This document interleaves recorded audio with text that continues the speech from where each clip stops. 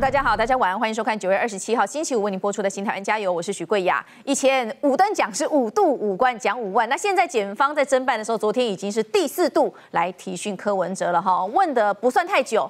二点五小时就让他下课了，就还押。但是呢，哎，比较特别的反而是沈庆金。沈庆金在前天的时候，他被提讯，一口气问了十个小时。那究竟是为什么呢？有这么多可以问吗？如果说没有东西可以问，或者是说被告不讲的话，哇，这样前后还能够耗十个小时吗？沈庆金交代了什么关键的案情吗？另外是呃，还有一个线索我们要从中国流亡作家袁宏斌他受访的一篇报道来看起。他说。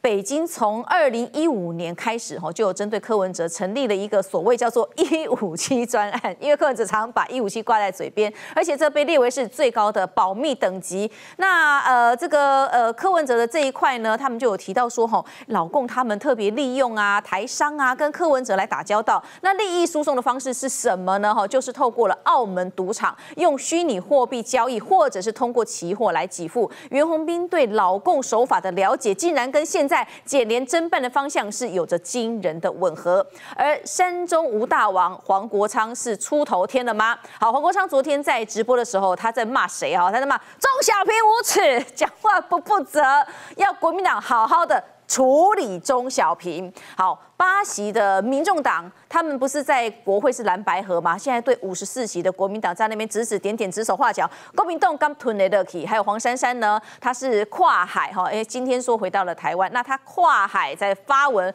帮柯文哲来辩护，强调说哦都是哦于法有据啊。只不过呢，嘿，黄珊珊你一下讲说是第二十五条，怎么现在你偷偷改成了二十四条，改口供还靠金安尼咁好？而且呢，十五天没有发声、没有讲话的陈佩琪哈，今天。退休啊！那现在传出的是，检方为了要理清不明的金流，最近可能会再次的传唤陈佩琪。陈佩琪哈，常常我们知道说他讲话，哎，撸共行不行？撸短康哈，这是一个问题。那今天下午还有一个最新消息，是有关于徐府哈，民众党的副秘书长徐府，他为什么出现在廉政署是怎么一回事？稍后我们来讨论。现在介绍今天来宾，首先欢迎的是桃园市议员俞北辰俞将军。各位好，大家好。还要欢迎时事评员周伟航。大家好。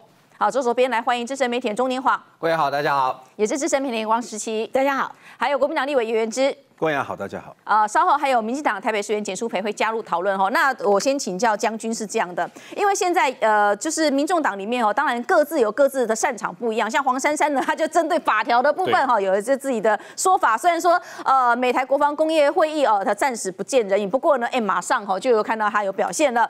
那蔡壁如也有蔡壁如哦，上上这个一些直播啊、专访啊等等，也有很多的事情。但每个人角度不一样。但是我们来看的是黄国昌，黄国昌讲昨天讲什么？他说。哇哈，这一些这个金流就是查不到嘛哈，所以呢，现在减掉办案，呈现一个叫做焦灼式空转，对不对？哈，焦灼式空转，颠雕雕，没胖几的哈。然后他晚上啊又在直播的时候，他是特别去那个比特王的直播，是比特王是不是以前是韩粉？是啊，是哈哈，他去了这个比特王的直播，然后诶，这个有看到网友就在正黑板呢特别点出来哈，他在里面讲什么呢？哦。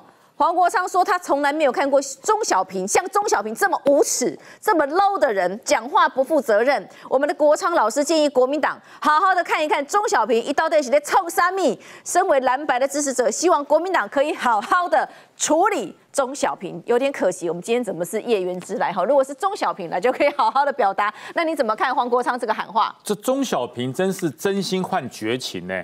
钟小平在很多场合都讲。蓝白不能合，但是可以立法院哈可以讨可以这个研究一下蓝黄合。他所谓蓝黄黄就是指黄国昌，哎，黄国昌钟小平一直在称赞你。对啊，他在说柯文哲哈没什么好合作的。柯文哲这个人哈翻脸跟翻书一样。黄国昌在立法院哦还有桥的空间。哎，黄国昌你有没有良心呢？黄钟小平在任何场合里，我我没有听他讲过黄国昌的不是，任何场合没有。可是为什么你要在比特王的这个频道里面就直接说，哎，国民党好好管管黄国昌？我记得黄国昌在加入民众党曾经有讲过哈，虽然没有发誓，可是他也是正式说，我加入民众党绝对不干涉民众党的党务。嗯，对。可是黄国昌，你怎么在干涉国民党的党务啊？钟小平是国民党的，而且钟小平是现任主席朱立伦在那个同舟计划里面破例开门让他回党的人，你在打朱立伦脸吗？朱立伦当时是为了要扩大整个地方选举的那种力量，让钟小平回来的。你现在在毛起来在骂钟小平，哎，让钟小平回来叫朱立伦呢？啊，他现在在中心护主啊，就是说，哎，我们柯主席还关在里面，谁害的？钟小平害的啊。钟小平不是害柯文哲关在里面，是柯文哲自己把自己放在里面。你有看到被羁押的人哈，越羁押头发越黑。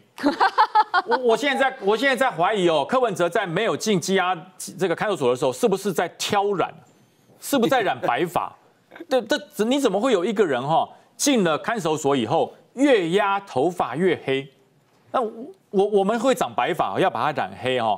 柯文哲是被羁押一段时间，黑发长出来了。如果今天钟小平接出了什么这个雨果市场的问题啊，金华城、北四科这么多问题慢慢浮现台面之后，如果你民众党你有本事把钟小平议员所提出来的每一个这个检举，都把它四两拨千斤全部拨掉，没数合法无罪无罪无罪。哎，钟小平是你们的恩人呢。他让你民众党重生呢，可是你黄国昌现不是哎，黄国昌你现在说踩这叫做什么焦灼式的空转，嗯，这个这个理论只能去骗一般这个国文造诣很差的人，焦灼就转不动，嗯，能够转得动就不会焦灼，嗯，焦灼还能转动，所以他今天改了，他说焦灼式的摇摆。焦灼式摇摆叫什么？叫摇头娃娃，你知道吗？那个底端粘在桌子上，然后你去打他的头，他头就这样摇。你车上很多人都对对对，就这样摇，这叫摇头娃娃。你是在讲什么？你要讲一点法律的话好不好？黄珊珊虽然讲的话让大家听不懂，至少他还跟法条接近了一点。蔡壁如虽然不是很懂法律，至少他找了法师来帮柯文哲做法，人家都在想尽了办法救柯文哲。最后黄国昌，你继续在讲话。你在打中小平，那我们让那个原知委员有一点表达空间，好不好？人家黄国昌在骂你们中小平了，你还要跟他继续合作吗？反正不是骂我们吗？中小平，你有没有出息呀？没有啦，我我觉得是，我觉得这样，因为因为民众党现在整那个整党上下都很讨厌中小平啊，也不是只有黄国昌。那你们国民党呢？我们国民党没有，以我来讲的话，就是每大家都党员，但每个人职位角色不同嘛。嗯，台北市议员监督市政，觉得过去市政有弊端，他用力监督，然后大声疾呼。那你们不该不是应该要好好大力的支持钟小平吗？刚刚钟小平还走错棚，走到这边来。哦，真的，那不要让他讲一句话。我帮他讲话，因为他今天也有骂黄国昌啊。他钟小平说他多少在做善事啦，然后黄国昌都到底有没有做善事啊？然后黄国昌你有没有？你是不是都在为自己的权位？钟小平讲说，他其实都是为了柯文哲着想，就是叫柯文哲。钟小平今天以前没有骂过黄国昌，他他还讲说，叫国民党跟黄国昌合作就好，对对对，不要去理黄珊珊等人呐。那我我是觉得黄国昌骂钟钟小平，就是受到整个民众党的氛围的影响啊。那因为因为之前他们说。还找了那个什么大言博士，就是选桃园市议员那个曾延杰有没有？然后翻出他翻出曾延杰。啊，你没有觉得你们是真心换绝情吗？你们招委该让的也让啦，那可是像黄国昌现在在臭你们啊。然后他没有他没有臭我们呢。其实以我来讲，他就是在骂钟小平。那那我觉得钟可是他他有僭越了呢，他管到你们国民党内部的。我觉得这不算管，因为有时候我也会呼吁一下赖清德主席管管你们民党立委啊。我觉得我们也会这样嘛，只是说赖清德主席不会理我。那我请教伟航老师，你觉得？黄国昌的这个这个说法，我们想一起穷州哎哦，然后骂人都骂很大声哦，然后常常这个咆哮的时候口水都喷出去哦。可 是可是，哎，他怎么突然这么有理有节啊？这有理有节啊，是仅针对国民党重要人士了。哦，重要人士哦，我不是说这个钟小平不是国民党，他也是国民党，只是没那么重要，没那么重要，比较边陲人士啊，要回党还要逃台东党部才能回国民党。好，那不管怎么说，黄国昌现在就是在跟谁贴？那网络上叫贴贴，跟谁贴贴？嗯，就是跟国民党、跟傅昆奇贴贴，跟韩国瑜耍贴贴啊。所以韩国瑜办的国庆。要不要去？要去啊！当然去了嘛，韩国瑜弄的嘛，当然要给他贴一下。哎，我们搞错主被动关系的主持是谁？主持是韩国瑜当院长开始的国庆大典嘛？子弄的这么多国旗，我不去给他贴贴一下，不把巴西带到，人家一去看，哎，你这一个班哪里去了？啊，应到八人，十到八人啊，报告完毕啊，已经带到了，立正站好，看几十次，好。不管怎么说，黄国昌给国民党的面子这件事情带无疑义了。但是，到底二零一六把国民党拉下来是谁？好，二零一六，他不是讲二零一四，他不是讲太阳花，哎，对，啊，你讲突然讲到二零一六，二零一六，你不是在民进党礼让之下去选戏子吗？嗯，啊，这这跟国民党把他拉下来有什么关系呢？哦，怎么逻辑都讲不上啊？讲的好像是你黄国昌当年在戏子选的时候，大地一声雷，哦，这是新党的招牌，哦，就突然平地起波涛，黄国昌的戏子参选的震撼了全台湾的国民党，导致国民党全面骨牌效应，哦，这个也说不通啊，因为那时候大家都没看到这样的现象嘛。好，所以啊，黄国昌啊，好他当然是在这个，我们来注意一下这个活动啊，他在比特网。啊，他是在比特王的场子，跟谁呢？跟建东。建东是谁呢？他是在去年选举的时候，他原来是网红啊，自己也有公司，但他就是非常贴民众党所以这原则上就是一个对小草喊话的场子啊，对小草喊话的场子。那这些小草知道黄国昌过去是做什么的吗？我强烈怀疑。哦，所以他就用讲一个说，哇，国民党是我打败的。那根本不是民进党，民进党三十八年已经忘了初衷了，民众党五年也忘了初衷。你黄国昌出来十年，你就记得初衷吗？我不是讲说那个十二岁读到十五岁的那个初衷，不是哦，是你原来进入政治的一开始的想法，你的坚持，你的台独主张呢？嗯，现在大家有些人说我不要去国庆，因为那个那个中华民国要素太多了，哦，人家不想去。好，这个都是个人选择。你黄国昌率先去贴贴。你讲得过去吗？好，那当然了，黄国昌啊，早就已经信用破产。不过他之所以参加这个活动，第一个他是要重建小草的信仰。为什么？大家都知道，现在民众党已经邪教化。邪教的几个特征：第一，呃，大家尽量多捐一点钱，啊，所有的多余的钱都拿出来奉献师傅。第二。没事就要多参加我们的活动，我们会在全台湾各地办活动，请大家一定要来。周末我们都有聚会，来听我们国昌上师讲道啊！上师讲道一定要听，现场领小礼物来提升你的灵性。第三，回家爸爸妈妈看的电视不好，不要看，把它剪掉。哇，那个。同轴电缆还蛮粗的哈，其实剪下去不太容易，剪掉还是要付钱。对啊，这个这个有更理智的方法，就是把那个头转掉了。但是原则上来说，你的所有行为，你就是把圈圈越做越小。希望什么？救柯文哲吗？不是哎，黄国昌的很多看法都说，哦，那个主席，哦，他里面其中那个片头一开始讲，我很担心主席，担心什么事情？嗯，他如果被交保，他不要交保，他宁愿在里面。等一下，主席真的跟你有讲这种话吗？啊，真的有传这个圣旨吗？现在民众党大家纷纷在传主席的圣旨，蔡壁如也说，主席跟他讲，我问主席会不会有金华城？你有没有跟他说？我怎么可能？你瞧不起我？好，蔡壁如传了一个版本，黄国昌也传了一个版本，主席交保他不会出来，我很担心啊。主席跟我说，这个他怎么样？这个他怎么样？等一下，你们这个是像那个基督徒在写福音书，四本内容都还不一样。有一点出入吗？重点就是在于说，柯文哲现在有口难言，大家只能看他每天在那边出出入入啊，笑一笑啊，当然是越来越健康。大家今天都在讲他头发越来越黑了，不错哈，那个睡得好哈，不再有烦恼，可能也看开了啊，觉得大概是没救了，心心一放松啊，人都健康，我们祝福他。但黄国昌呢，他现在都巴不得柯文哲不要出来。这一些小草就可以盘到底，因为其实黄国昌他不讲案情的细节，他其实在操作什么司法破坏什么，反正他不讲细节。他直播那么长的时间，我昨天听了一大段哦，都在骂电视台，他不讲细节。但是我们要讲细节，我们让大家知道说到底发生什么事情嘛，哈。那其实呢，呃，柯文哲很多他在主导金华城案的细节已经推演到啊，原来不是要从这个呃二零二零三月的便当会，还要再往前推嘛。那我们看好现在侦办到。已经是第四 round 了哈，那我要请教黄哥，在侦办的部分呢，因为柯文哲他被呃就是提讯的时间是二点五小时就还押，二点五小时感觉上好像还合理啦哈，不长不短哈这样的一个时间，可是我觉得诡异啦哈，我们今天看了一个新讯息哈，这个人到底是去干嘛？现在现在稍微摸不着头绪了，等一下实习有一些答案可以告诉我们哈，就是。他的标题是这样写哈，他说金华城案最新进度哈，打一个惊叹号，然后说检联约谈民众党的副秘书长徐福，那你看到的确就是拍到徐福到了那个检联那边去嘛，去廉政署。可是呢，呃，徐福我们看到新的消息是说没有传徐福啊，廉政署也好奇说，Hello，徐福，你来这里干嘛？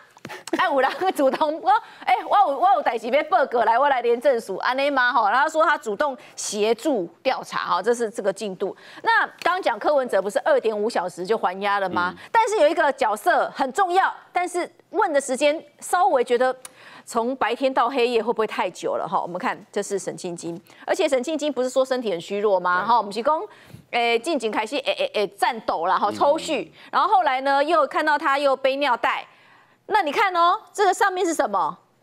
今嘛天气有热不？热吧？热啊！盖盖米接被，他盖盖被子啊。但是呢，那一天哈是九月二十五号，他的呃提讯时间从下午的一点三十五分，一直到半夜十一点五十七分。嗯，那个南瓜马车要开走之前，终于放他离开了。那晃哥，你觉得问这么久？代表有什么样的讯息，我们可以来了解吗？嗯，这个时候会提讯沈庆金，而且问这么久，大概只有一个题目，就是问钱，嗯，问金流啊，因为金华城的图利的部分，呃，基本上因为图利主要是针对公务员了，哈，那呃，沈庆金的涉案程度当然大，但是呢，他主要是他会被收押进监，我想主要是因为跟金流有关。那你会问十个小时，我觉得应该就是钱。而且问十个小时，沈庆金应该如果就常理来研判，他应该有讲了一些事情。嗯，因为你如果说检察官一定问嘛，哈，他一定手上一堆东西嘛，啊，这个沈庆金先生这一笔钱几月几号几号你汇出去啊？给谁？如果每一题沈庆金都说我不知道，我不知道，我不知道，我忘记了，然后你可以回去了。那应该两两小时就问完。对啊，就觉得没得谈了嘛。那你回去，你回去，这波太多不好，先走，先走。会问到十个小时，一定是第一笔，哎。沈庆金先生，某年某月某日，这个一五零零，这是什么东西啊？沈庆金说：“这是钱啊，是新台币还是美金？啊，你给谁？你为什么要给他？因为这个故事才发展的下去。嗯，啊，如果都不知道，那就问完了。所以我觉得应该是问钱的啊，因为其实就检方目前侦办的进度看起来，土地税的部分应该差不多了啦，大概呃证据已经掌握在手上，应该都。”蛮完整的，现在就在于说那个金流有没有对价，好，那这个对价能不能勾稽出来？因为其实法院对于收贿公务员收贿的他的证据力的要求其实还蛮高的，好，所以重点在金流有没有对价。那我我觉得今天审计监会被问十个小时，柯文哲只问二点五个小时，两个对照，因为是连着两天嘛，对，可能审计监问到一些东西。检察官再把沈晶晶的东西拿去问柯文哲，然后柯文哲应该是全部否认，就问到他的时候，他一定说没有没有，我不知道哦，那钱都陈佩琴在管的，我不知道哦，可能是全部否认，所以才会二点五小时全部问完。因为如果他有承认一部分的话，嗯，那检察官就问啊，那他为什么要给你钱呢？啊，这个钱是到底干什么的？你收了钱之后你干什么事啊？你做了什么事啊？一定是这样子问嘛，对不对？那他二点五小时，其实你知道，检察官在问案。呃，你不要用我们一般这种讲话的速度哦，因为他旁边要速记，对，嗯，所以他其实其实会有点慢，对我们我们去去过侦查庭就知道，就有点慢，而且他们还要选字哦，选的有够久的。我我有一次去侦查庭都很想叫那书记官说，你走开，我帮你打，我真的蛮想帮他打，对，因为有够慢，选那个字选的有够久，我看着很痛苦，对，然后我们也浪费大家时间，对，所以二点五小时其实如果以我们一般正常讲话速度，大家觉得二点五小时应该可以聊蛮多事情，但是在在侦查庭大概。可能是我们平常的一半的，或者一半多一点点而已。嗯，所以他其实问不了什么哈。那会有这样的结果，我觉得这个案子应该快侦结了。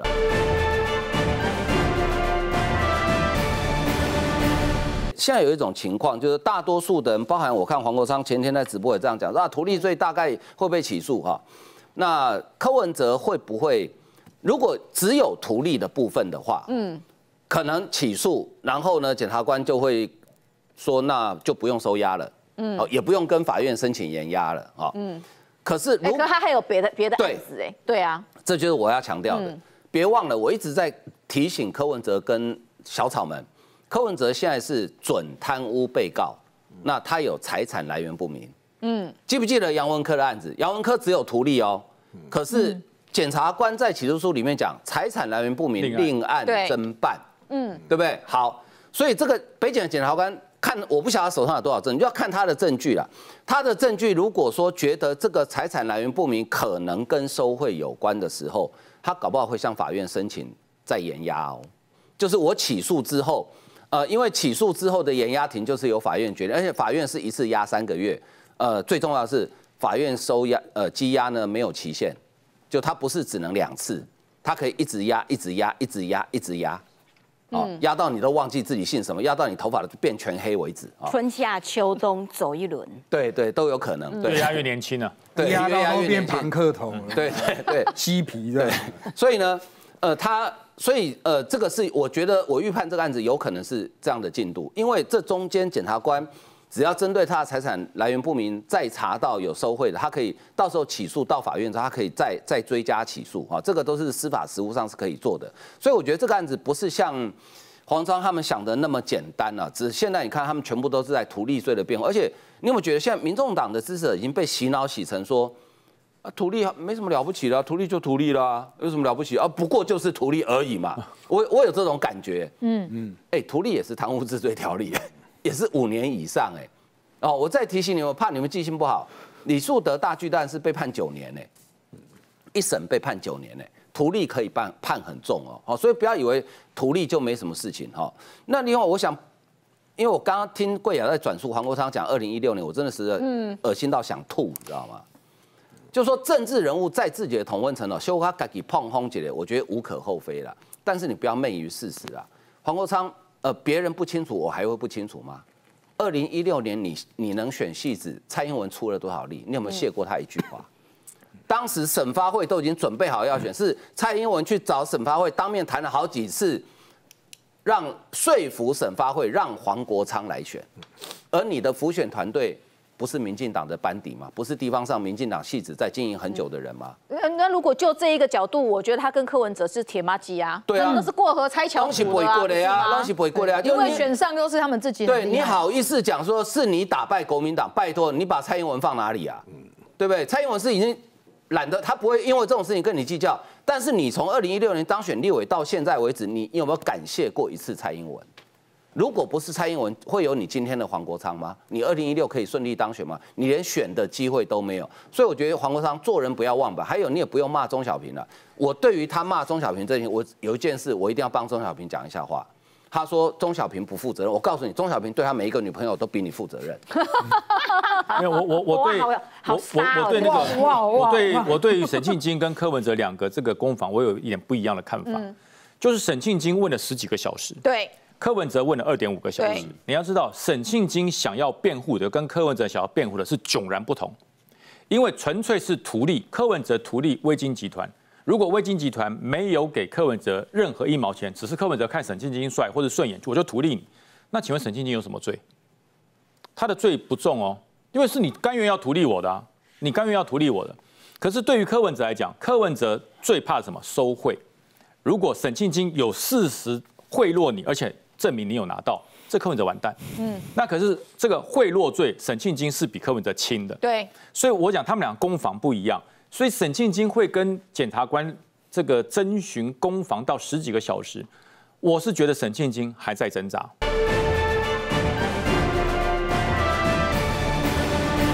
所以沈庆金，我觉得这十几个小时，他可能试图还在还在跟检察官在做周旋。那可是检察官拿出了很多证据，他可能凹不下去了。那柯文哲为什么只问这么短的时间？他一律都说不知道。嗯嗯，一律说嗯那个沈静晶，那好比好几笔钱汇了多少笔给你？是政治现金，还是进慕可，还是进基金会？柯文哲最讲我不知道。那那检察官怎么办？就问不下去了哎、。可是他管很细耶，现在很多资讯都说，哎、柯文哲是管道啊，没错哦，你那个文具组怎么没给我的支持者？有没有？小到哎、我想文具组是多少钱？大概一两百吧，哦，对文小到文具组这种东西，你都会去追对，了。检察官一定会把这些细项，包含了说你是不是两个月要听这些基金会里面的金流做一个提报。柯文哲说我不知道，谁讲的？我没说。李文娟讲的，对，所以剩下就是，如果柯文哲都说不知道、不知道、不知道，所以法官问的很，那个检察官问的很快嘛，嗯，然后，你不知道我就给你记录不知道、不知道啊，都不知道哈。哎、下像是这种会死的比较快。下个就传李文娟，下个就传李文忠，下个就把端木正传传过来，嗯，好，那个你你你们主席都说不知道，他怎么会不知道？我都有跟他讲，那完了。等到这个口供出来，这个证明出来之后，直接跟柯文哲讲，李文娟说了，李文忠说了，端木正讲了，你还不知道吗？他说没有，我忘了。那柯文哲这种方式只是嘴硬，嗯，然后让他的这个所谓的时间侦查时间很短，只是爽而已，对他的案情有帮助吗？一点帮助都没有。态度不佳的话，其实加重，对，会加重。不过这个部分我要补充一下，因为我觉得柯文哲现在没有这个空间，因为之前媒体的报道里面有这么多他交代李文娟有这么多详细的对话记录，其实是被揭露的。对，所以检察官在问的时候，一定会把这些东西拿出来问你，问柯文哲说：“哎，啊，你交代李文娟什么一百万媒体大亨要怎么处理这一件事情？你在处理什么案子？”他绝对是要去回应这一件事情，他没有办法说：“哦，我们怎样，我们怎样。”就如如刚刚贵雅所说，如果都已经拿到有证据，你还睁眼说瞎话，说我不知道，你知道那是黄珊珊他们在外面可以做的事情，因为没有刑责啊。你现在在检察官侦办的过程当中，如果你这样子讲，我告诉你，到时候起诉书就让罪嫌重大，然后这个恶这个态度。非常的恶劣，好，都把你再写一笔，好，所以我觉得这这这个，我觉得柯文哲现在在面对检察官的侦办里面，他也许有很多的东西，检察官其实是拿出相关的对应的资料，其实去询问他。但是沈庆金的部分，我要讲了，沈庆金现在可能不只不仅仅只有金华城这个案子而已啦，吼，你看。光金华城的金流，现在媒体报道有多少？他从金华城出了四点三亿的公关费，然后又从要要求鼎月给了金华城五亿的公关费，这总共加起来九点三亿，到底流向在哪里？完全不晓得。然后再加上呃，这个礼拜爆出来说，这个沈庆金在二零一七年的时候，跟他的王姓司机哦，王姓司机说，我我我帮你啊，进出海关啊，带了好几亿币。哦，这个几亿币的单位到底是台币、美金、港币还是什么币都不晓得。好，那如果这是真的的话，我告诉你，他现在检察官要查的是。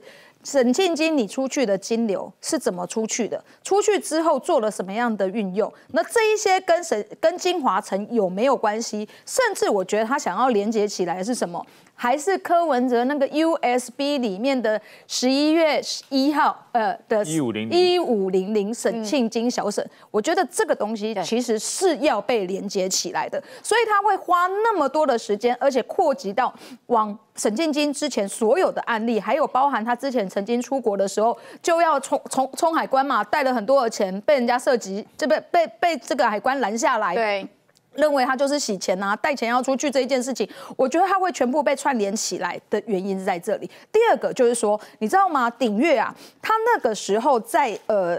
鼎月金华城卖卖鼎月的那个时间点啊，其实他在卖的那个时间点，他的金华城的容积只有五百六十哦。嗯，卖了之后，沈庆金跟朱雅虎再去把金华城的容积争取到八百四，所以他卖的时候是五百六的容积，变成鼎月的时候变八百四。可是那个他在争取八百四的容积是整个是进行当中的，哎，那对于金华城的股东来讲，干没好。哎，我我用五百六卖给你啊，结果可以争取到是八百四，你不搞我供。那就是不是啊？啊，那我们不是都是一家人吗？啊，我子公司怎么会对于我上面的这个？我告诉你哦，金华城的有一些股东并不是维金的股东哦，并不是鼎悦的股东哦，因为鼎悦其实是中公百分之百投资的子公司哦，所以金华城的股东跟鼎悦的股东不一定完全一模一样。那对金华城的股东来讲哦，我卖给你也是五百啦，啊，结果你直接争取八百四，你无搞我讲。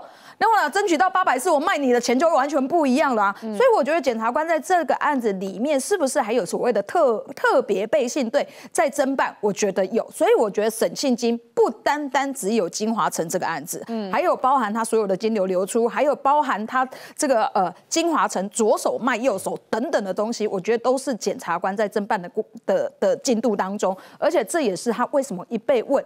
会问这么长的时间，哦，不是只有单单的金华城的容积。没有，我为什么说哈柯文哲没有那么单纯？你你看哈，柯文哲记不记得一五零零？呃，当场检察官就告诉他说，哎，你那个时候不是在跟里长会面吗？对。柯文哲秒回，哦，改时间。其实他的狡猾程度不是我们能够提，我们可以可以想象的。嗯。另外，沈庆金哈，这个王姓司机丢出来说他有拿了很多钱到澳门去。我们看来好像抓到金流，嗯，可是沈庆金如果跟检察官讲，对我这五亿我拿去还赌债，所以你看我我花了这么多次几个亿叫小王带出去，嗯，所以他们两个人的狡猾程度跟。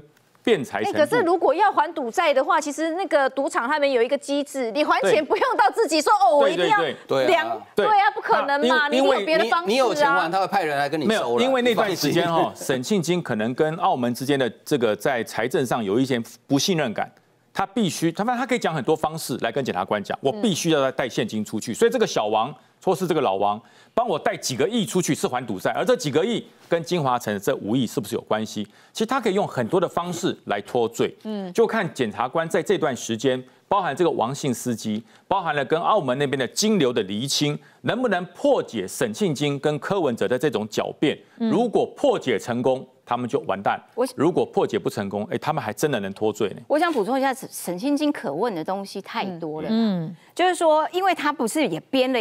一些这个公关费嘛，可是公关费的流向还没有被完全掌握。因为目前看到的哈，你说什么？哎，两百、两百、两百。这这里的钱很少哎，对，一千多，对啊，一千出头而已，很少哎。四一共是四点三亿嘛，所以那个钱的流向，所以这件事情当然还可以持续的问沈庆金。那沈庆金习惯性的在澳门，澳门的赌场是在干嘛？就是专门帮钱洗澡的嘛，就是钱洗一洗之后就就变干净的嘛，就洗洗洗捧捧之后，然后他就呃习惯用现金的人。嗯，沈晶晶又是习惯用现金的人，他就会制造出很多断这个有一个要补充，是因为他不是那个呃，就是把钱带出去，结果被查下来哈，扣掉钱，他就觉得很不高兴，他还去打行政官司。打行政官司之间就有有很多细节是在判决书当中嘛，然后判决书当中就揭露说，对，沈晶晶从来没有使用过任何信用卡，他没有信用卡，对，连真后对，哎，确定他真的没有使用信用卡，他是一个只用现金的男人，现金控，大老板只用现金，然后。呃，走到哪边没有用过信用卡，所以这件事情可联想的这个范围就很大。为为什么要用现金？嗯，因为现金才好断点，对啊，我才让你查不到嘛。那所以要查这些现金的流向，这是这是一块。另外一块是说你的公司。企业这么的大，有没有用员工的人头去做捐款？